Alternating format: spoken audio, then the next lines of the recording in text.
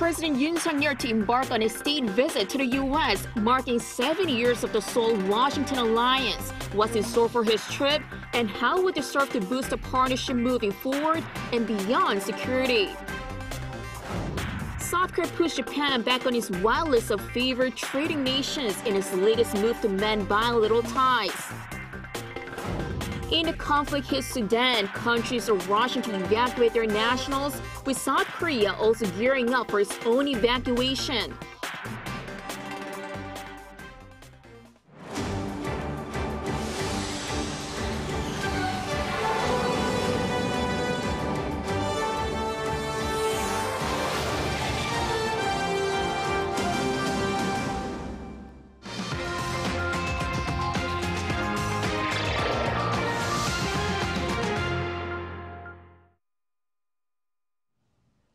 Good afternoon. We start with President Yoon Suk-yeol's state visit to the U.S. Marking seven years of the Seoul-Washington alliance, the president will be meeting his U.S. counterpart, Joe Biden, as well as the country's political and business leaders seeking to expand ties. Our Choi Min-jung breaks down what is in store for the president's trip. South Korean President Yoon Suk-yeol embarks on an official state visit to Washington on Monday, where he'll meet his U.S. counterpart, Joe Biden. Under the theme Alliance in Action Toward the Future, his trip is expected to strengthen the Seoul Washington alliance, especially as this year marks the 70th anniversary of the alliance between both nations. The state visit officially begins on Tuesday. Yoon will attend a forum where advanced technology companies in the U.S. will announce plans to invest in South Korea and a business roundtable involving some 30 CEOs of major companies from both countries. The president will also visit NASA's Goddard Space Flight Center to discuss space cooperation between the two countries. Also on Tuesday, both leaders and the First Ladies will pay a visit to the Korean War Veterans Memorial in Washington. Wednesday is the highlight of the visit. Yoon's summit with U.S. President Joe Biden will take place at the White House. Prior to the summit, Biden and the First Lady will host an official arrival ceremony. The summit will be followed by a joint press conference and a state dinner. On Thursday, Yoon will address Congress on the topic of liberal democracy and share his blueprint for the future of the bilateral alliance. The speech will be followed by lunch at the State Department, hosted by U.S. Vice President Kamala Harris and Secretary of State Antony Blinken. Yoon will then receive a briefing from top U.S. military officials on a variety of global issues. The president will also make a stop in Boston to meet academics from the digital and biosector at MIT on Friday. He will also host a panel session at Harvard University's Kennedy School on Economic Freedom and Liberal Democracy on the same day. From there, Yoon will wrap up his trip and depart for Seoul on Saturday. Choi Min-jung, Arirang News. The upcoming Yoon Biden summit will likely address security as a key agenda as it comes amid advancing nuclear and missile threats from North Korea. But with a large business delegation also accompanying the president, cooperation in the tech sector and the U.S. subsidy issues surrounding the domestic auto industry could also be addressed. Our presidential office correspondent Oh Soo-young has the possible items on the agenda. The first official US state visit in 12 years for a South Korean leader. The highlight of Yoon's trip will undoubtedly be his summit on Wednesday with US President Joe Biden. The commanders in chief are expected to first and foremost address security challenges, namely North Korea's growing nuclear weapons capabilities. The US deterrence uh, hasn't kept up with the advancements made by North Korea on the nuclear front. So I think the South Korean government would like the United States to put forward uh, more uh, complex and uh, sophisticated response measures that are more visible to the South Korean public in order to reassure the country against the growing North Korea's nuclear threat. President Yoon himself has been pushing for Seoul to have greater involvement in the joint planning and execution of Washington's nuclear weapons operations upon a nuclear attack by Pyongyang. He's called for measures stronger than NATO's nuclear sharing arrangement with the US, under which Washington deploys tactical nuclear weapons in Germany and Italy and operates them after consultation. Another major aspect of Yoon's trip will be economic security, with seven major business related events. Yoon's top priority on that front will be gaining some leeway for South Korean auto and tech firms adversely affected by America's industrial policies, chiefly the Inflation Reduction Act and the CHIPS and Science Act. Dubbing himself the country's number one salesman, Yoon is taking some 122 business people, including the chiefs of Samsung, SK, LG, Lotte, and Hyundai, to expand partnerships and investments, particularly in high tech areas, including the digital sector, biopharmaceuticals, and even media contents. Beyond commercial ties, the South Korean president will aim to forge partnerships in research and development in cutting edge areas. As the US is an advanced science and tech powerhouse with core technologies, strengthening cooperation with South Korea, which has strengths in manufacturing, is expected to see great synergy. During this state visit, we will strengthen cooperation in fields such as advanced semiconductors, biotech, space, and quantum AI. During his week long stay in Washington, D.C. and Boston, Yoon will focus on aiming to transform the traditional security alliance upon its 70th anniversary to a global strategic comprehensive partnership with tangible outcomes outlined in a joint statement by the two leaders following their summit talks on Wednesday. Oh Soo-young, Arirang News. While President Yoon Suk-yeol has been in the office for less than a year, he's looking for a sixth face-to-face already with his U.S. counterpart, Joe Biden. What have been discussed in their past meetings leading up to this summit? Our Kim Do-young takes a look. Less than a year since he took office, President Yoon Suk-yeol has met U.S. President Joe Biden on at least five occasions. The first was a summit in May as Biden came to Seoul just 10 days after Yoon's inauguration amid a wide range of bilateral issues. The first was supply chain cooperation, which Biden emphasized as he went straight to a Samsung semiconductor plant in Pyeongtaek, and the two presidents met for the first time. Our two nations work together to make the best, most advanced technology in the world. And this factory is proof of that. And that gives both the Republic of Korea and the United States a competitive edge in the global economy. If, if we can keep our supply chains resilient, reliable, and secure. And for South Korea, it was a turning point in the ROK US alliance as the joint statement following the summit clearly showed the two countries would focus even more on economic cooperation beyond traditional security issues. But that wasn't to say security was neglected amid North Korea's growing nuclear and missile threat. The two reaffirmed Washington's extended deterrence commitment to Seoul, which entails a full range of U.S. defense capabilities, including nuclear, conventional, and missile defense. They agreed to reactivate their high-level extended deterrence talks after which the two sides have bolstered joint military drills and exchanges. Yoon and Biden's second meeting came one month later during Yoon's trip to the NATO summit in Madrid. Joined by Japanese Prime Minister Fumio Kishida, the three discussed North Korea's increasing missile provocations and agreed to strengthen joint defense measures. Yoon and Biden also had a chance to meet on the sidelines of Phnom Penh ASEAN Summit. Their third meeting in November came after South Korea voiced concerns over the U.S. Inflation Reduction Act, which put Korean automakers at a disadvantage in the American market. That said, Yoon relayed his concerns to Biden during their almost hour-long meeting. Other brief tete-a-tetes took place in London during Queen Elizabeth II's funeral and the UN General Assembly. As the two are now very well acquainted, Seoul's top office says Yoon's state visit to DC will be able to expand the strategic bilateral partnership even further. Kim Do-young, Arirang News.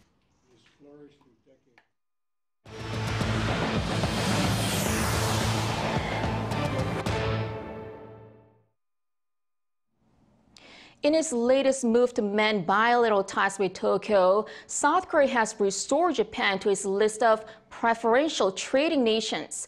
In the meantime, the country has introduced tougher restrictions on Russia and Belarus, joining international efforts to control their military capabilities against Ukraine. Our Moon has the details.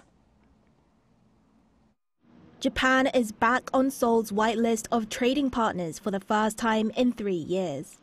The Ministry of Trade, Industry and Energy released a notice on Monday to make amendments to the country's whitelist of strategic goods export destinations, reinstating Japan back in the top tier class of trading partner nations and merging the two top classes of nations together. Back in 2019, Seoul removed Japan from the whitelist in response to Tokyo's implementation of licensing requirements for the export of key materials needed for the production of displays and semiconductors, fluorinated polyimide, hydrogen fluoride, and photoresists. Following the bilateral summit between South Korea and Japan last month, Tokyo lifted these export restrictions, prompting Seoul to respond by placing Japan back on the whitelist. The whitelist consists of different tiers that have varying benefits, and the Trade Ministry's decision to tie the top two tiers together puts Japan in the top tier alongside 28 other nations, including the UK and the United States.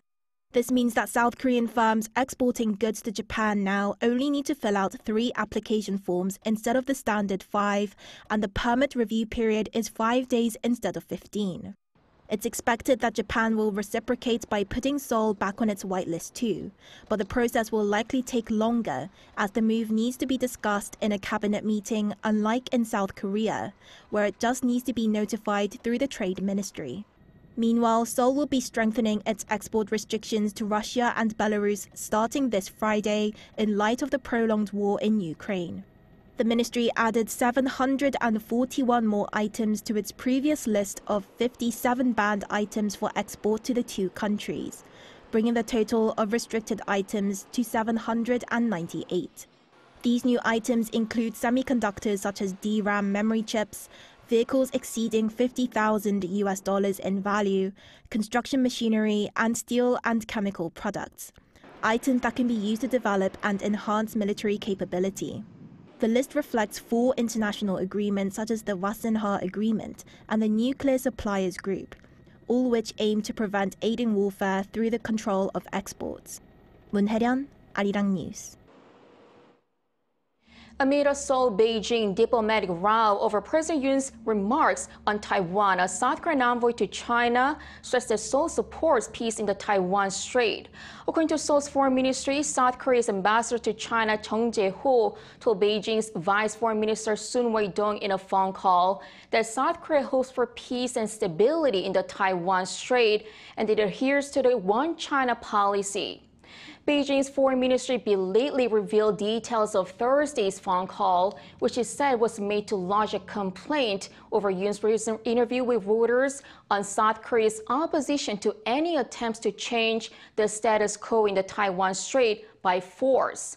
During the phone call, the Vice FM said that Beijing's controversial remarks, which referred to Yoon's interview as meddling, was not directly aimed at the president.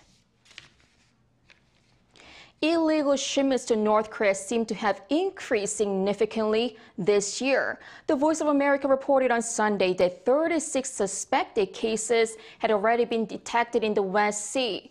That's the same amount of cases detected as the whole of last year, and it's only April. It is suspected that North Korea is using a new method of ship to ship transfers in its own territorial waters to avoid sanctions. VOA added that it is possible that these illegal shipments could be associated with the increased coal and oil imports. Over in Sudan, as fighting between rival factions continues, more countries are rushing to evacuate their nationals. South Korea is also gearing up to execute its own exodus operation. Our Ising has the latest. Hundreds of foreign nationals living in war-torn Sudan are being evacuated by their countries. Many of the rescued have already arrived at a port in Saudi Arabia. The mass evacuation comes as the two rival factions fighting in the northeast African country have agreed to allow foreign nationals to be safely evacuated from Sudan. Last night, the British military conducted an evacuation operation of British diplomatic staff and the dependents from Khartoum uh, using elements of 16 Air Assault Brigade, the Royal uh, Air Force and the Royal Marines. Uh, over 1,200 people uh, contributed to this operation. South Korea has also begun its evacuation process as an aircraft landed at a U.S. base in Djibouti on Saturday. As the airport in the Sudanese capital of Khartoum is currently closed, the 29 South Korean nationals in Sudan will be moved to the aircraft by the Cheonghae Unit, a South Korean naval task force operating in the region. Meanwhile, speaking during Sunday prayer in St. Peter's Square, Pope Francis called for an immediate end to violence in Sudan. Unfortunately, the situation in Sudan remains serious, so I renew my appeal for a quick end to the violence and a return to the path of dialogue. I invite everyone to pray for our Sudanese brothers and sisters.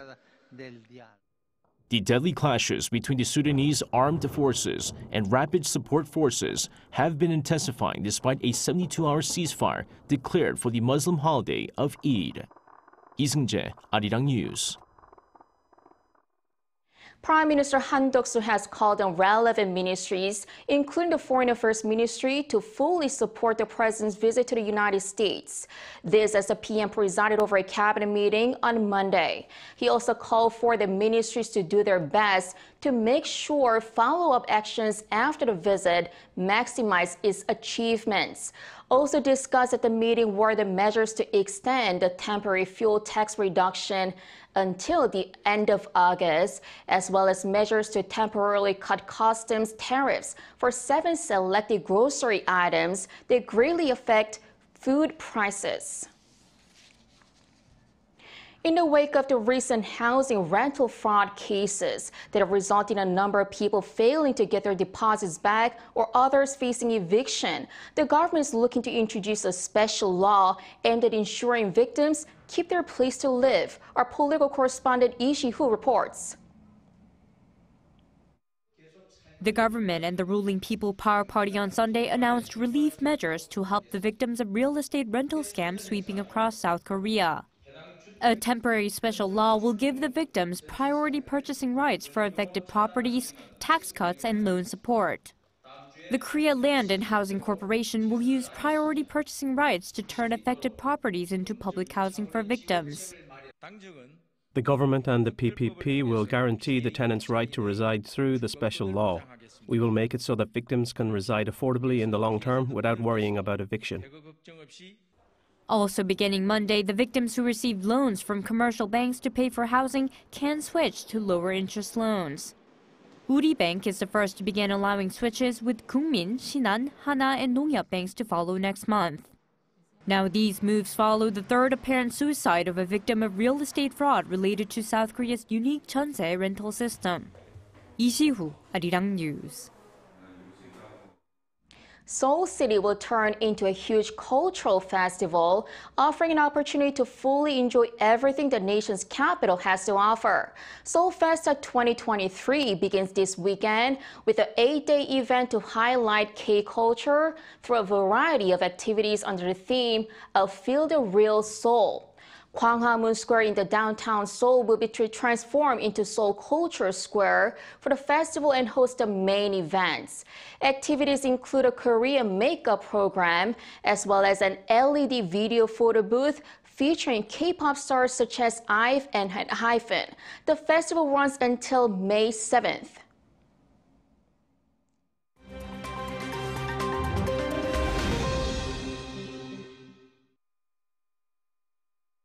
Let's take a look at what's going on in the world now. In Kenya, 47 bodies, including those of children, were discovered over the weekend amid an investigation into a Christian cult. The bodies were buried in shallow graves on private land owned by a pastor close to the coastal town of Malindi. The number of dead is expected to rise as authorities say up to 58 graves have been found in the area. The grim discovery comes after authorities last week rescued 15 emaciated people from the Good News International Church. Four of them died shortly after. The victims had reportedly been told by their pastor that they would be able to meet Jesus if they starved themselves. The pastor is in police custody and has been arrested already twice before on charges related to the deaths of children, but was released on bail both times. The pastor has denied any wrongdoing and insists he shut down his church in 2019. Moving over to the UK now, it was an ending fit for Hollywood at the racecourse ground on Saturday evening local time when Wrexham AFC came from behind to beat Boreham Wood 3 1 and secure promotion to the Football League. The promotion means that Wrexham will compete in a tougher League Two next season. It's the fourth tier of the English Football League and three promotions away from the English Premier League. The team had previously struggled in the fifth tier, spending 15 years in the National League. But Wrexham's fortunes have changed since being taken over by Hollywood actors Ryan Reynolds and Rob McElhenney in 2021. Now, from New York and London to Peru, activists around the world rallied over the weekend to mark Earth Day. For five hours on Saturday, New York banned cars from 31 locations in the city. Meanwhile, in London, activists from the Extinction Rebellion group started a four day action on Friday called The Big One.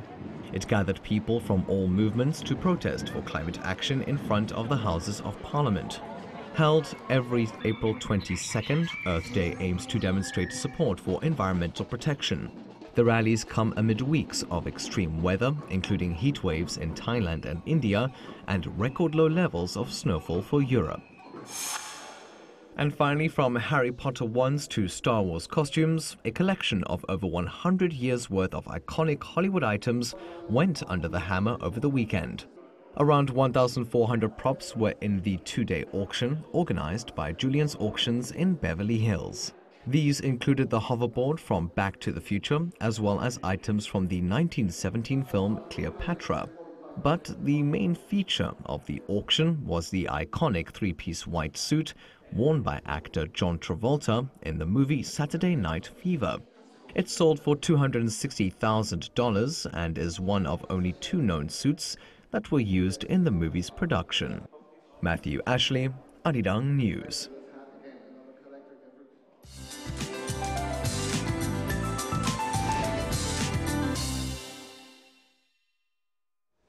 Good afternoon. The last work week of April began on a pleasant note with much improved air quality. Temperatures are similar to yesterday in central regions, but eastern parts of the country are having cooler highs due to easterly winds. But air becomes dry again. West of central region is under a dry weather advisory along with strong winds, so please be careful with anything that could cause a spark. Meanwhile, Jeju and Jeollanam-do province could see some passing rain in the afternoon, but it will be less than 5 millimeters. Sunny skies in central regions today, but southern provinces are having highs 2 to 4 degrees lower than yesterday, hovering in the mid to upper teens with lots of clouds. Then we have some rain in the forecast tomorrow. The further south you are, the heavier the rain falls. In Jeju, we'll see up to 30 millimeters, which should all let up by Tuesday night. That rain will also drag down the highs to the much cooler side on the same day, and it's going to stay breezier through the first half of the week. That's Korea for you, and here's a look at the international weather conditions.